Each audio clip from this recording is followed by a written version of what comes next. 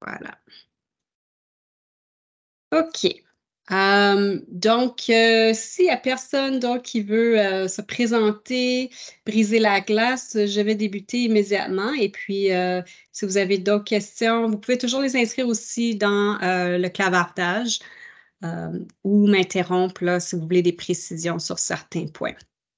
Donc, on va voir ensemble les conditions d'admission au programme, le coût de la formation, un exemple d'horaire de cours, euh, les informations spécifiques sur les contenus de cours, euh, l'implication, métier, votre métier d'étudiant, ça va être quoi exactement, la pondération, les mesures d'aide qui sont faites durant le programme, euh, l'information sur la profession de, et l'OASIC, des frais à prévoir suite à la formation, l'importance de la présence à tous les cours, même si c'est en virtuel, et un temps de questions et comment on procède pour faire les demandes d'admission aussi. Donc, euh, j'espère que ça, ça vous va. Est-ce qu'il y a autre chose auquel vous pensez que vous jugez euh, serait utile qu'on couvre aujourd'hui? Euh, je, vais modifier mon, mon écran parce que je ne peux pas vous voir en même temps que je présente.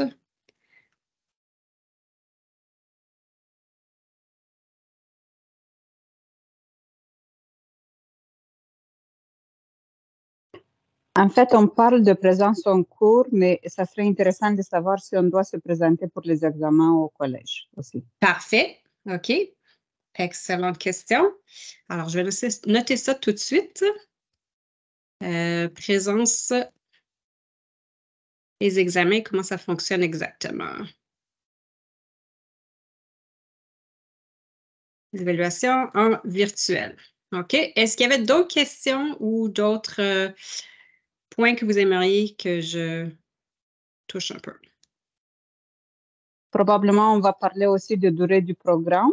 Euh, on sait que c'est le soir et le week-end, mais c'est du quand jusqu'à quand? Mm-hmm. Oui.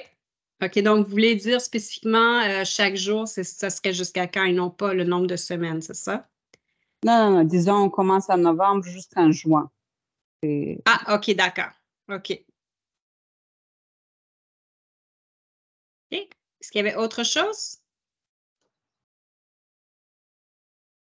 Euh, peut-être aussi s'il y a des travaux à faire euh, en plus des cours, euh, le, temps qui devrait être alloué aux études pour se faire comme une petite idée, normalement, si on donne comme par exemple quatre heures par soir, combien d'heures que ça devrait faire pour les travaux et l'étude? Parfait. OK. C'est beau? OK. Alors, on va débuter. Et puis, euh, si je vais probablement toucher un peu à ça en même temps. Euh, sinon, il y a aussi le site web euh, qui va vous permettre d'avoir de l'information. donc, les conditions d'admission au programme. Alors, c'est un programme qui conduit à une attestation d'études collégiales. Donc, c'est un programme qui est crédité, donc reconnu par le ministère, en courtage immobilier résidentiel. Donc, c'est le programme de base de courtage. Vous devez euh, posséder un diplôme d'études secondaires ou l'équivalence de scolarité ou une formation jugée suffisante et vous pouvez obtenir ça en passant un test AENS ou ce qu'on appelle en anglais TENS. En plus d'avoir votre euh, l'équivalence d'études secondaires ou le diplôme d'études secondaires, il faut satisfaire à au moins une des conditions suivantes. Donc, avoir interrompu vos études pendant au moins deux sessions consécutives ou une année scolaire. Donc, ça, c'est tout simplement parce que euh, l'AEC n'est pas faite pour les gens qui euh, quittent l'école secondaire et veulent tout de suite aller faire le programme. Il faut qu'ils attendent au moins un an. C'est une formation pour les adultes. Euh, vous pouvez aussi rencontrer la condition d'une entente qui serait conclue entre le collège et un employeur ou bénéficier d'un programme gouvernemental. Euh, vous pouvez aussi avoir poursuivi pendant une période d'au moins un an des études postsecondaires. Donc ça, ça rencontrerait l'attente euh, d'avoir terminé les études secondaires au moins un an. Il y a des questions par rapport à ça?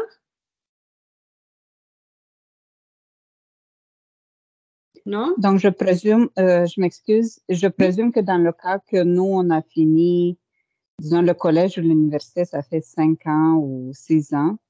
Euh, ici, on rentre dans l'exception, ça fait plus d'un an ou de deux sessions qu'on a fini les années scolaires, c'est bien ça? Exactement. Et un autre petit point là-dessus, c'est euh, en lien avec avoir réussi des cours. Donc, si vous avez fait, par exemple, un an euh, d'études au collégial et que votre dernière session, vous avez eu plus de 50% d'échecs, euh, ce qu'on va faire, c'est un contrat de réussite avec vous. Donc, il va falloir remplir ce contrat-là.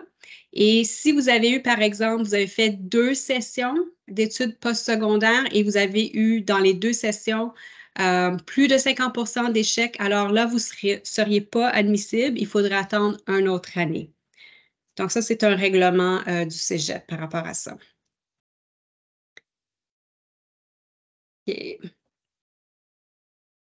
Donc, euh, comme j'ai expliqué plus tôt, alors vous êtes ici pour avoir de l'information sur le programme, bien sûr, mais c'est vraiment spécifique euh, à la formation à distance en temps réel, où vous entendez souvent parler de synchrone. Donc, exactement comme nous sommes ce soir, euh, en présentiel avec l'enseignant, avec tous les autres membres de votre groupe, euh, en temps réel et la plateforme qui va être utilisée, c'est la plateforme Teams. Euh, il sera obligatoire d'avoir votre caméra ouverte en tout temps durant la formation. C'est certain que prendre des petites pauses euh, de 5-10 minutes ici et là à travers le cours, c'est correct, c'est normal. Mais la raison pour laquelle on demande ça, c'est créer un sentiment d'appartenance à votre groupe. Vous allez vraiment être comme dans une salle de classe. Euh, vous devez aussi avoir une certaine aisance avec l'utilisation du matériel informatique. Il y aura du soutien informatique en cas de difficulté, mais il faut comprendre qu'on ne peut pas nécessairement aller euh, appuyer si c'est un, ordinateur personnel, euh, comme on pourrait appuyer les ordinateurs qui appartiennent au cégep, par exemple. mais pour quelques petits problèmes, quelques petits pépins, on sera là. Et nous prévoyons aussi faire une rencontre euh, d'accueil ou de soutien au moins une semaine avant le début du cours, juste pour s'assurer que vous êtes bien connecté, que vous avez ouvert tous vos programmes que vous avez besoin euh, d'avoir pour participer au cours.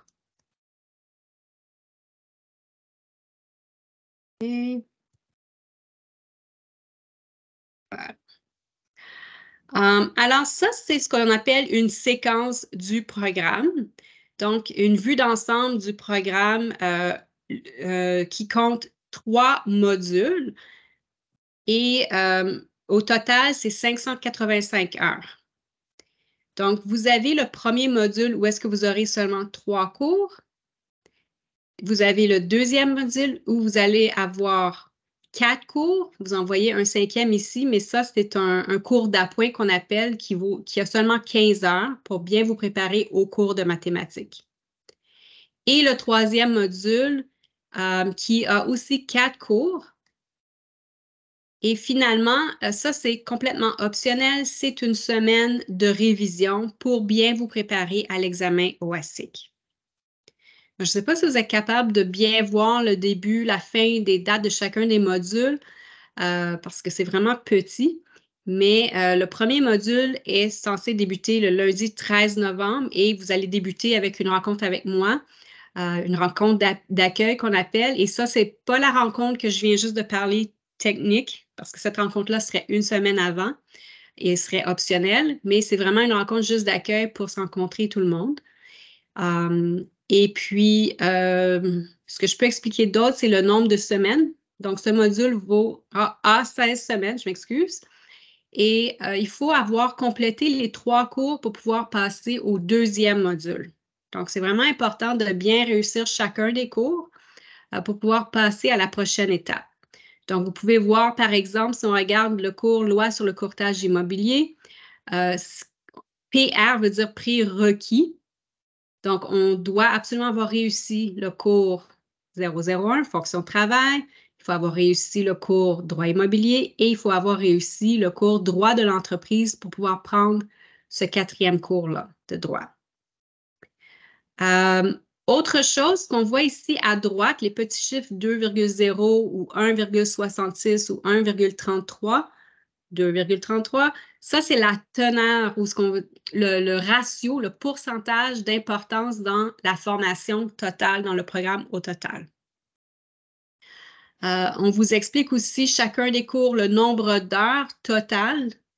Donc, on voit ici que les trois premiers cours ont chacun 60 heures. Ensuite, au module 2, euh, on a des cours de 45 heures chacun. Et au module 3, certains cours ont 60 heures et d'autres cours ont 45 heures de cours.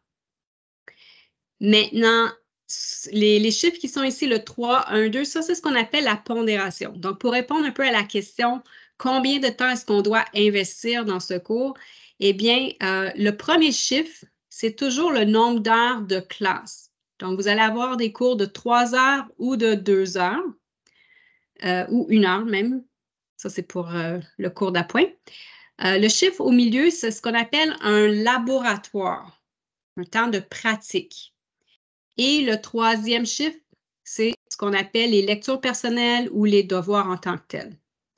Donc, si on regarde, c'est quand même euh, pas mal d'heures en une semaine qu'il faut investir. Je dirais à peu près 4 heures, 6 heures par semaine qu'il faut investir euh, de, façon additionnelle comme étude personnelle en plus des cours.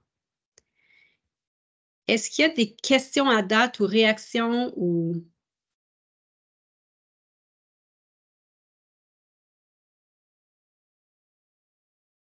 Ça va?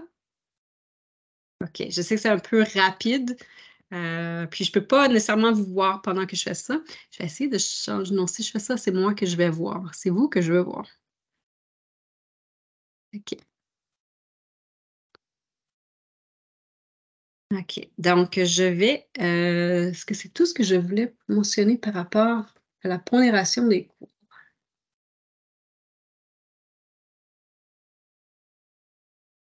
Oui. OK. On va continuer.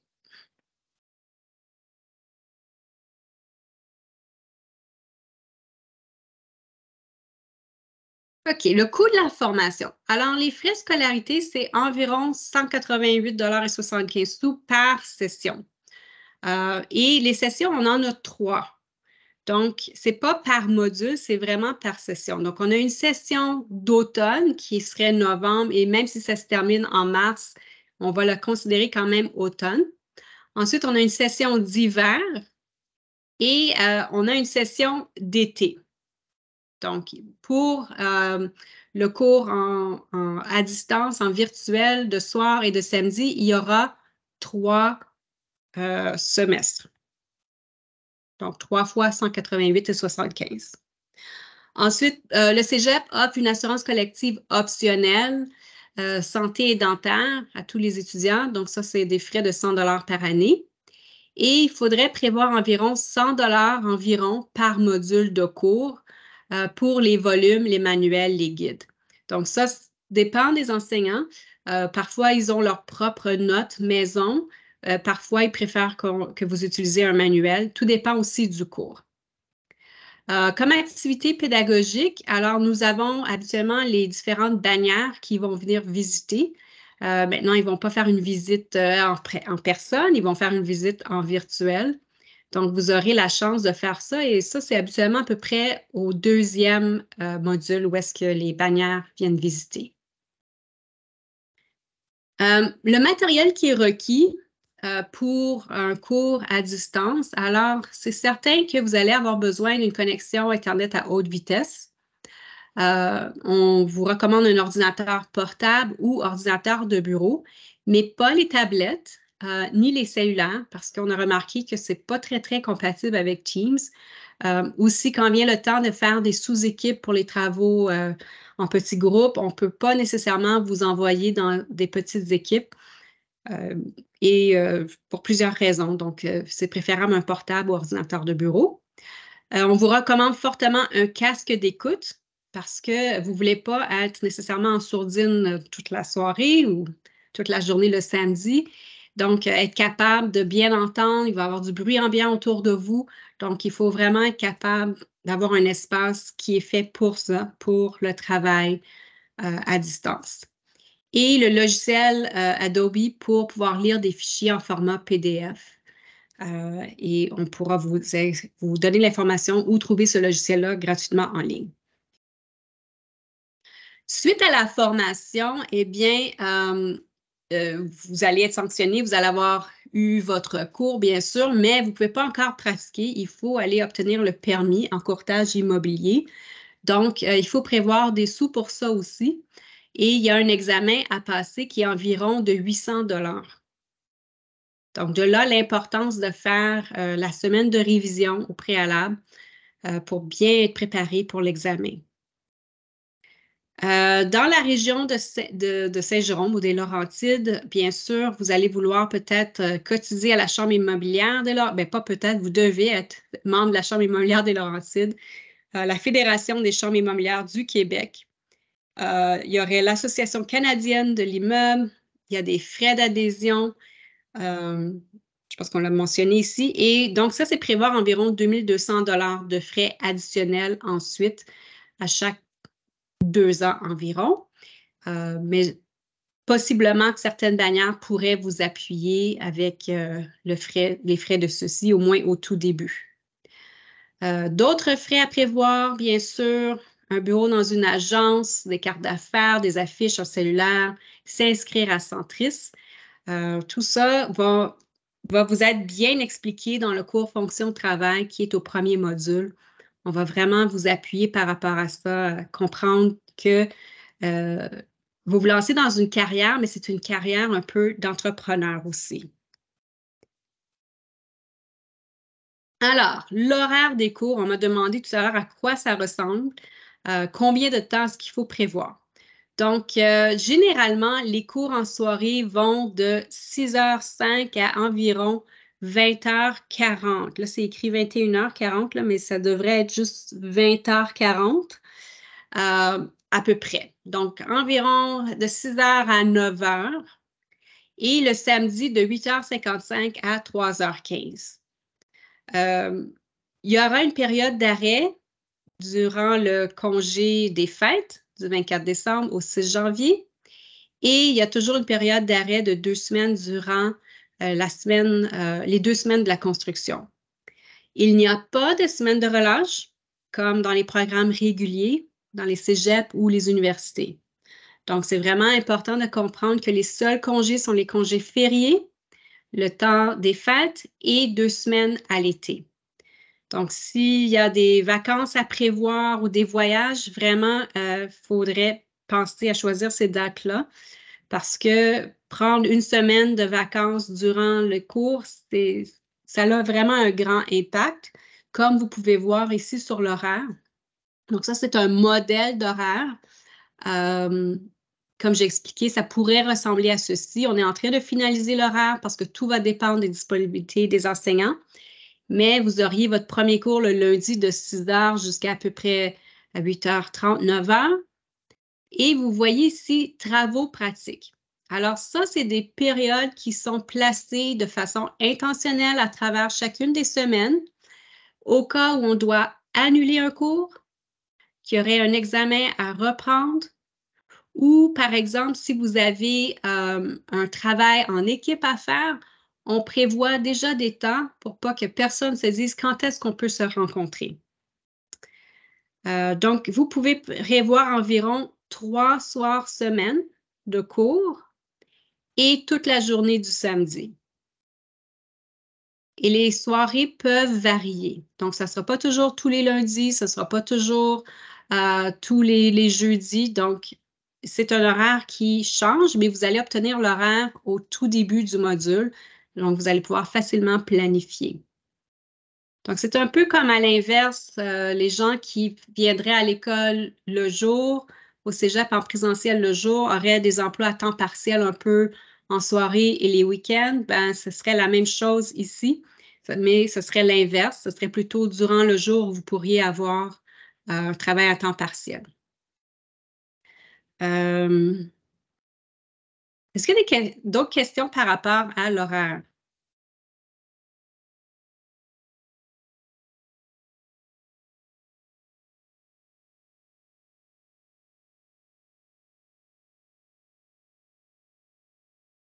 Pas de question. Je sais que quelqu'un tout, à l'heure avait demandé la question par rapport euh, au temps. Donc, le programme, si vous ne l'avez pas déjà vu sur le site Internet, débute le 13 novembre pour se terminer en, le 5 octobre 2024. Donc, c'est presque un an, 11 mois. Et euh, vous avez votre semaine de révision. Ça, c'est optionnel à des frais additionnels.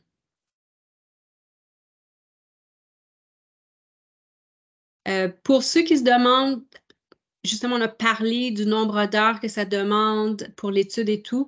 Euh, c'est assez difficile d'avoir un travail à temps plein et étudier aussi presque à temps plein. Donc, il faut prévoir ça. OK. Donc là, j'aimerais ça euh, vous présenter une courte vidéo. Je vais juste m'assurer que je vais avoir le son.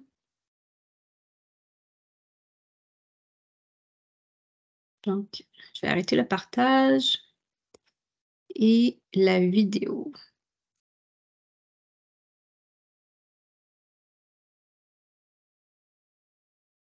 Partager, inclure le son.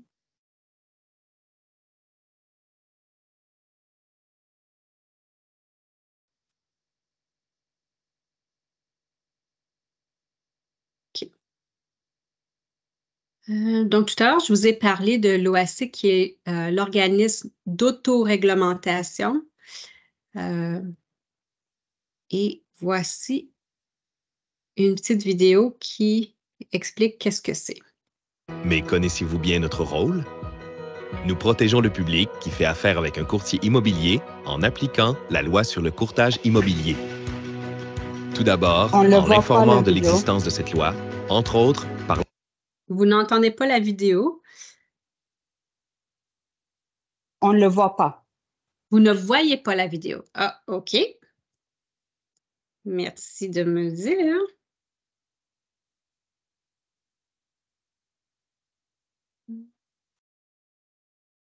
Partage, inclure le son.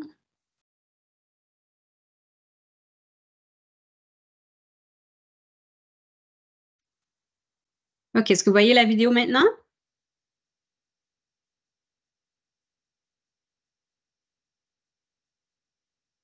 Oui. OK, parfait.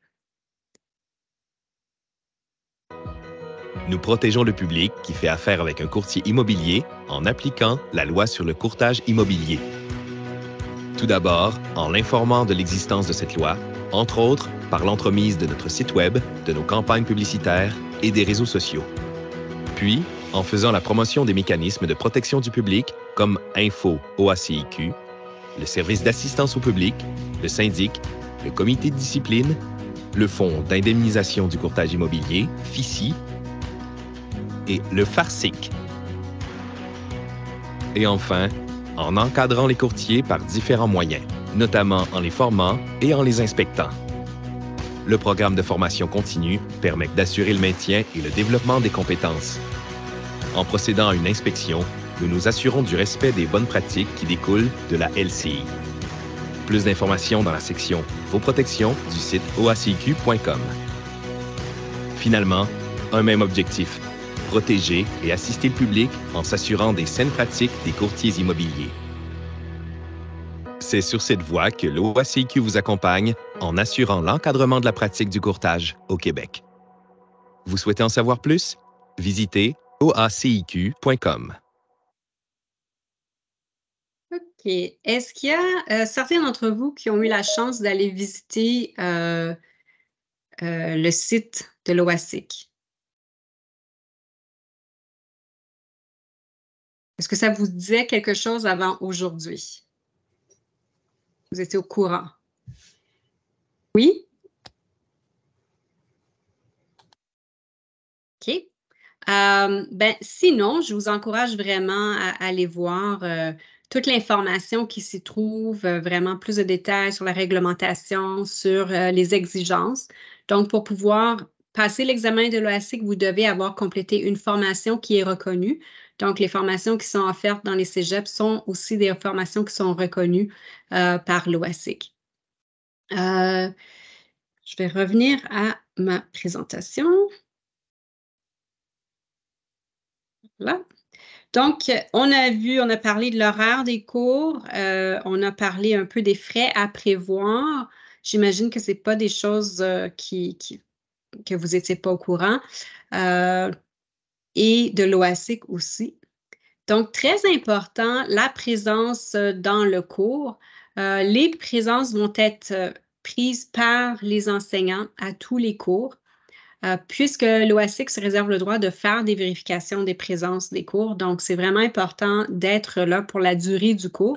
Avec Teams, généralement, on peut tout simplement euh, appuyer un bouton et puis euh, on peut voir les présences des, étudiants quand ils sont entrés, quand ils sont sortis, etc. Donc, c'est important d'être très assidu, assidu là-dessus. Et pour recevoir des mesures d'aide, donc par exemple, si euh, vous avez euh, des pépins en cours de programme, ça peut arriver, et vous avez besoin d'appui euh, psychosocial, c'est là, c'est offert pour vous. donc, il faut quand même être présent aux études pour pouvoir accéder à ces services-là. pour faire une demande d'admission, alors, dès demain, vous allez pouvoir vous inscrire pour le programme au SRAM.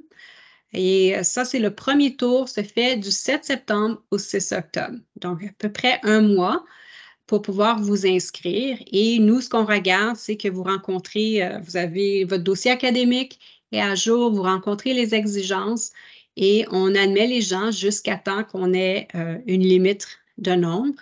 Et par classe, c'est environ 30. C'est seulement si j'ai suffisamment d'enseignants que je peux ouvrir un autre groupe si jamais on avait besoin d'offrir un, autre groupe. Vous allez recevoir une réponse par courriel après le premier tour, à peu près le 20 octobre, sinon un peu avant, pour vous dire si vous avez été accepté ou non. Si jamais votre demande est refusée, vous obtiendriez euh, la réponse euh, ou la raison pourquoi votre demande serait refusée. Si vous n'êtes pas certain que vous pouvez appliquer, vous pouvez toujours me contacter. Euh, pour voir si ce serait possible pour vous. Nous allons accepter, ici, il y, a, une faute, là, les admissions tardives. Donc, ce n'est pas les bonnes dates, mais on peut accepter des gens jusqu'à peu près le 9 novembre, presque la veille du cours, dépendamment de s'il reste des places. Euh, vous devez tous faire votre demande d'admission par l'entremise euh, du service régional d'admission du Montréal métropolitain qui s'appelle le SRAM. Donc, cette demande-là d'admission se fait en ligne. Je vais ouvrir le document. Et il y a euh, des frais. Ce n'est pas à nous ces frais-là, c'est vraiment le SRAM qui fait ça. Donc, vous, cliqueriez sur Soumettre une demande d'admission. Très important, vous allez à candidat à la formation continue et là, vous remplissez vos informations, vous vous créez un compte pour pouvoir euh, remplir et euh, vous choisissez le programme qui est de courtage de soir. Donc, euh, bien choisir, bien vérifier que c'est celui de soir que vous avez choisi. Euh, il se peut qu'on vous demande votre certificat de naissance si vous êtes né à l'extérieur du Québec et ou d'autres documents requis si vous n'avez pas fait vos études au Québec ou au Canada, par exemple. Euh, possiblement un curriculum vitae aussi. Et voilà. Est-ce qu'il y a des questions par rapport à ceci?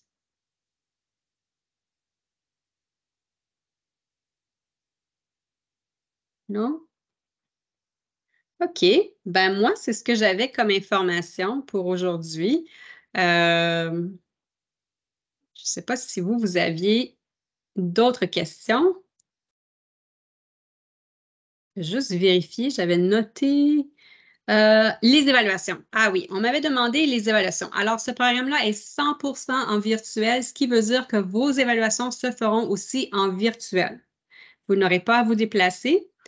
Euh, pour ces évaluations-là. Maintenant, nous sommes en train de, faire l'achat d'un programme, d'un logiciel euh, contre le plagiat, donc euh, de détecteur de plagiat, etc. J'en parle maintenant juste pour comme, vous rassurer que c'est quelque chose qui va être équilibré, qui va être juste pour tout le monde. La durée du programme, on en a parlé, c'est à peu près 11 mois. Les travaux à faire, donc j'en ai parlé aussi, oui, il y a des choses à faire à l'extérieur de la classe. Euh, c'est pas énorme, je dirais, comme contrairement à d'autres programmes, c'est pas trop. Ce serait plus de la lecture, je vous dirais, c'est plus de l'étude, vraiment étudier. De ce que j'ai vu des plans courts des enseignants, euh, c'est plus des examens. Et l'utilisation euh, des différents documents qu'on utilise comme courtier. Est-ce que je vais juste voir? Il y avait d'autres questions aussi. Euh, l'option temps partiel est possible si oui, de combien de cours par session? Alors, on n'a pas, pas créé une option à temps partiel. Euh, malheureusement, ce n'est pas quelque chose qu'on a en ce moment. Euh, vous, pouvez, vous pourriez dire, moi, je veux juste faire deux cours. Le défi avec ça, c'est que vous allez devoir attendre qu'on parte une autre cohorte pour pouvoir faire le troisième cours du premier module, puisque ça, c'est un, un prérequis pour pouvoir faire certains cours dans le module 2. Donc, c'est assez corsé. Ça pourrait vous prendre plus de temps. Donc, si vous avez du temps, vous dites, moi, je me donne comme objectif de compléter ce programme-là en deux ans. Je ne suis pas pressée, je veux le faire, je veux bien le faire. C'est faisable. C'est faisable. Euh, on a d'autres modalités aussi. Donc, on a euh, le cours qui va débuter la semaine prochaine. C'est un cours qui est deux jours en présentiel. Donc, ça se pourrait que quelqu'un dise, moi, je vais faire euh, le cours euh, en virtuel, puis ensuite, je vais pouvoir venir en présentiel faire deux cours. Ça va demander un peu de doigté, un peu d'organisation, mais ça pourrait être possible. Est-ce qu'il y avait... Je travaille, est-ce que ça va être enregistré? On ne prévoit pas que ce soit que les cours soient enregistrés au complet parce que euh, l'interaction entre les étudiants, l'opportunité de poser des questions à l'enseignant, euh, c'est pas ça. La modalité, là, c'est pas un cours où est-ce qu'on est passif, on regarde euh, la vidéo, puis on, se pointe à l'examen. C'est pas un enseignement individualisé. Ce qu'on veut, c'est créer une synergie avec le groupe classe. Simplement, les gens sont chacun chez eux. Euh, ça se peut parfois qu'un enseignant décide d'enregistrer certaines sections, euh, d'un cours, mais euh, ils ne sont pas tenus de le faire au complet. Ce n'est pas une attente qu'on a d'eux. Euh, avez-vous d'autres dates de début autres qu'en novembre? Donc, pour l'instant, comme j'ai expliqué, les deux cohortes qu'on a, on a la cohorte de jour à temps plein qui débute la semaine prochaine et on a la cohorte de soir et de samedi qui débute le 11 novembre, non, 13 novembre. Euh, on a potentiellement une autre cohorte qui débuterait en février, mais encore une fois, tout va dépendre de la demande. Durant la pandémie, on avait une explosion de gens qui voulaient aller en courtage, les cours se faisaient à distance, on avait beaucoup, beaucoup de groupes en même temps, mais il y a comme une accalmie en ce moment euh, de, courtiers. Les gens ne vendent pas autant leur maison, euh, ni n'achètent en ce moment. Donc, on n'a pas nécessairement l'opportunité ou suffisamment d'étudiants pour pouvoir partir une cohorte.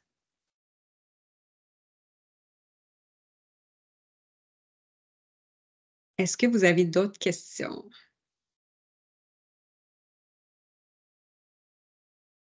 Quelque chose pour mon niveau. OK. Jamais étudié en français, toujours. Euh, est-ce que je vais présenter quelque chose pour mon niveau de français? Bien, ça, je dirais que c'est une question vraiment spécifique. Il faudrait que je vois votre dossier. Je ne pourrais pas me prononcer là-dessus. Donc, ça dépend si vous avez votre équivalent de français secondaire 5.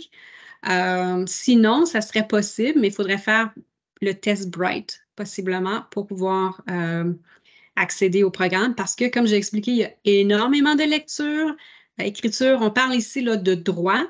Des cours de droit, il y en a trois le programme. Donc, euh, il faut quand même avoir un niveau de français euh, assez bon, assez fort pour pouvoir passer ces cours-là. Euh, le cours Bright, le test Bright, je ne sais pas combien de temps ça prendrait si vous auriez suffisamment de temps à le passer d'ici le début du cours. Donc, sans, sans, connaître votre dossier, je ne pourrais pas vous dire comme ça. Et puis, j'ai réalisé que j'avais dit que j'aurais arrêté l'enregistrement pour toutes les questions, ce que je vais faire maintenant.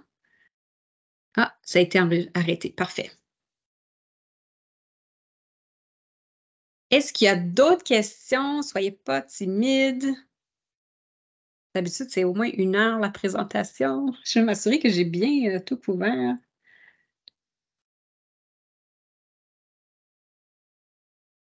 Sinon, on peut toujours survoler aussi euh,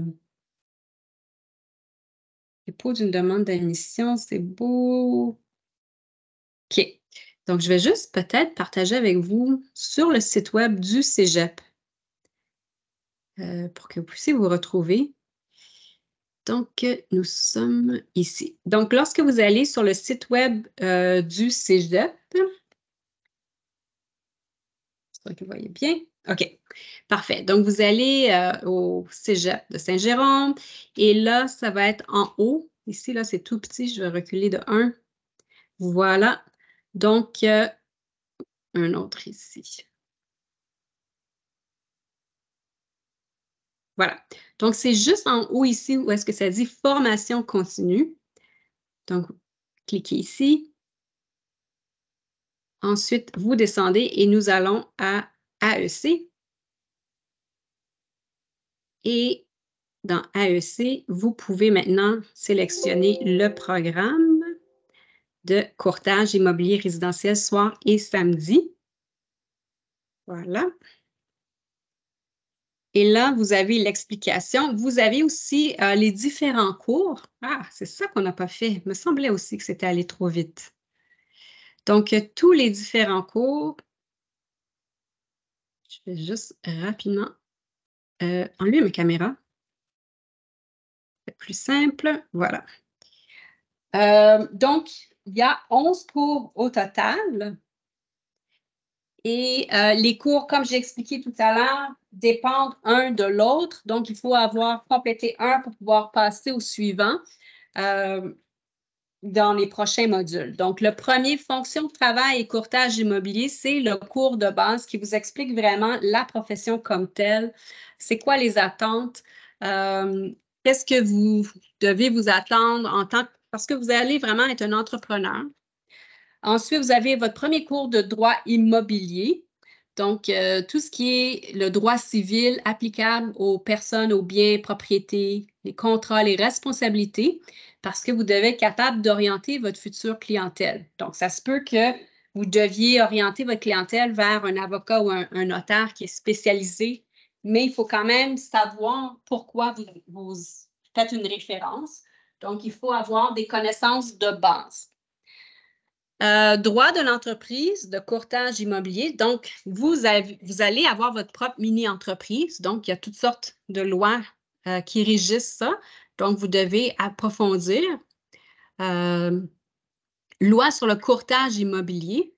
Donc, la pratique immobilière dans les lois, courtage immobilier, les règlements. Donc, surtout les règlements qui pourraient changer là, en cours de route ce qui a lieu aussi par rapport aux, locations aussi. Euh, vous avez ensuite un cours de relations interpersonnelles en courtage immobilier. Ben, on ne va pas se le cacher que vos clients ne seront pas toujours euh, très faciles. Euh, donc, c'est important de savoir comment interagir avec eux. Des fois, ce n'est pas toujours les clients, ça pourrait être aussi l'autre courtier avec qui vous allez faire affaire. Donc, on veut offrir des services professionnels, résoudre des situations conflictuelles. Euh, un cours vraiment intéressant euh, que j'entends souvent les, étudiants ou les futurs étudiants dire que même s'ils ne deviennent pas courtiers, c'est de l'information qui les aide beaucoup. Donc, identifier rapidement le type de construction, euh, le courant architectural, les caractéristiques physiques de la construction et donc être mieux outillé pour conseiller les clients sur les achats et peut-être les référer à un spécialiste si jamais il y avait des anomalies. Le cours de mathématiques immobilières, donc il faut quand même être capable d'effectuer des calculs de base en mathématiques. Um, et c'est ce cours-là où est-ce qu'on vous offre un 15 heures supplémentaires juste pour comme, ramener tout le monde au même niveau parce que parfois, ça fait longtemps qu'on a fait des mathématiques. Donc, c'est bien de se rafraîchir la mémoire avant de commencer le cours de maths spécifique à l'immobilier. Euh, ensuite, on a le cours d'évaluation immobilière résidentielle. Donc, être capable un peu d'estimer euh, et d'apprécier euh, la valeur d'un immeuble pour savoir si ça vaut la peine ou non, ou si l'offre, elle est bonne. Et euh, les trois derniers cours sont vraiment reliés à la création de contrats de courtage d'immobilier, euh, analyser, rédiger des clauses particulières adaptées à une situation pour le contrat, pour la vente, l'achat ou même la location. Quelles sont les démarches relatives aux promesses d'achat? Tous les mécanismes d'application de la législation. Analyser, rédiger aussi des clauses particulières par rapport à ceci. Vos obligations contractuelles à titre de courtier. Et finalement, la présentation d'offres d'achat d'immeubles résidentiels, que ce soit pour une promesse d'achat, de location ou d'échange d'un immeuble résidentiel. Donc, 11 cours. Euh, et pour pouvoir faire le dernier, le 11e, il faut avoir passé avec succès tous les autres cours. Euh, ensuite, si on retourne à la page du Cégep, je ne sais pas, est-ce qu'il y avait des questions par rapport à ceci?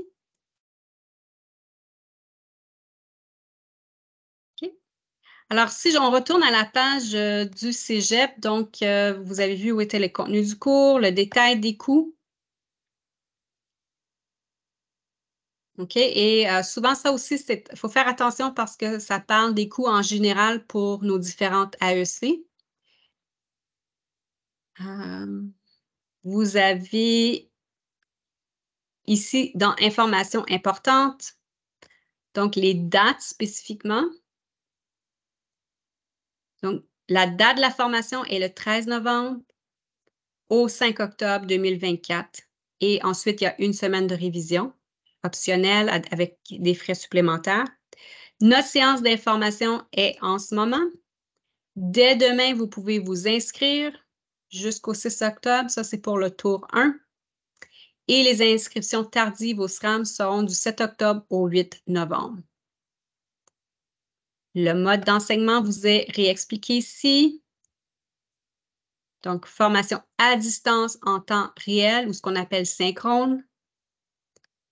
Le matériel qui est requis. À quoi ressemblerait un horaire type? Vous avez un calendrier scolaire que vous pouvez cliquer, les coûts.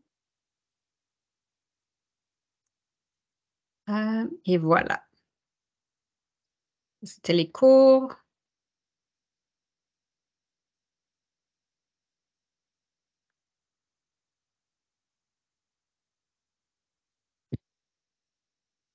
Alors, ça vous donne ah, un aperçu. Peut-être comment se rendre pour l'inscription. Donc, admettons, vous dites, ouais, moi, je suis euh, décidée, c'est vraiment ça que je veux, je veux faire. Je suis prête à m'inscrire. Euh, vous devriez être capable de vous inscrire ici, me semble. Voilà, dans date importante. Attends. Non, je l'ai vu à quelque part. Je viens juste de voir où s'inscrire? Ah, le bouton apparaît pas parce que c'est demain. je viens de réaliser. Si vous voulez revoir les conditions d'admission, c'est là aussi. Euh, le règlement numéro 16, ça, c'est ce que je vous mentionnais en lien avec euh, euh, votre taux de réussite. Si vous jamais l'année dernière, vous avez suivi des cours et vous avez eu 50% d'échecs dans vos cours, il y a plus d'informations au règlement numéro 16. Et si jamais vous êtes encore, vous n'êtes pas certain si Courtage immobilier, c'est pour vous. Vous avez une section aussi sur les perspectives d'emploi, à quoi ça ressemble, et une description du programme environ. Donc, le taux de placement est quand même assez élevé, euh, mais ça va dépendre, c'est certain, de, la demande. C'est vous qui créez votre propre demande aussi. Hein.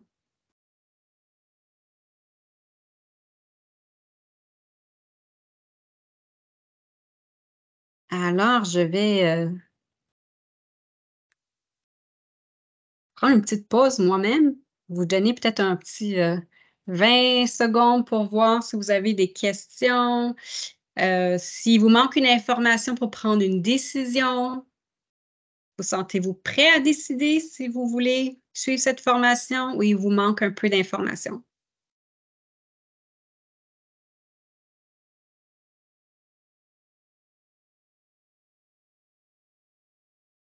Comme on dit souvent, de quoi avez-vous besoin pour décider?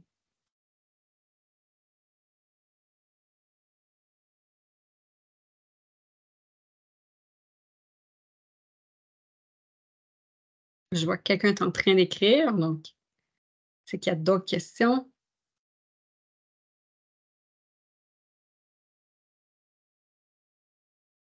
je suis curieuse de savoir, pendant que la personne est en train d'écrire sa question, je suis curieuse de savoir qu'est-ce qui vous a attiré avec les cours euh, à distance ou même le programme de courtage.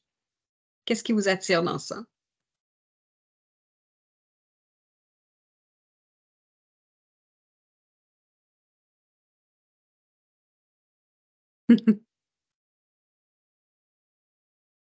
Pendant que vous réfléchissez, réfléchissez à la question, je vois quelqu'un qui a écrit le taux de réussite de l'examen. Mais le taux de réussite de l'examen va varier euh, d'un temps à l'autre. Durant les deux dernières années où il y a eu la pandémie, ce euh, c'était pas évident. Je pense que tout le monde euh, vivait beaucoup de choses difficiles. je vous dirais le, le dernier taux de réussite d'examen dans les 78% à peu près.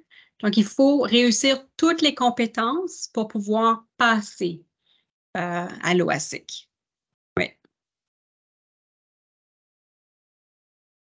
Et si jamais vous voulez le, taux exact, euh, Daniel, vous pouvez toujours m'envoyer un courriel. Je n'ai pas partagé mon courriel. C'est très simple. C'est eking à.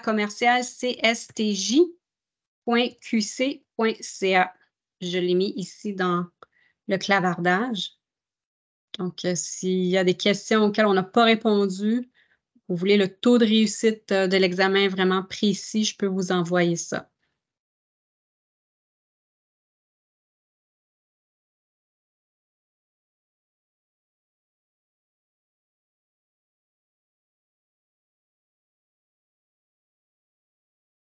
Il reste à peu près 11 personnes. Je ne sais pas si les gens sont toujours présents avec nous, s'ils ont des questions.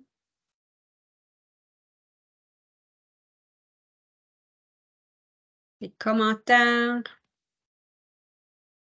des inquiétudes, des appréhensions à s'inscrire. Ce n'est pas évident, retourner aux études comme adulte. Euh, c'est un engagement, certainement, c'est un engagement. Ce qui est bien, c'est qu'on peut faire un module à la fois, comme j'ai expliqué tout à l'heure. Si vous n'êtes pas pressé, vous voulez juste bien faire les choses, vous vous dites, moi, je vais faire un module à la fois. Euh, ça va prendre un peu plus de temps, mais c'est faisable. C'est un projet.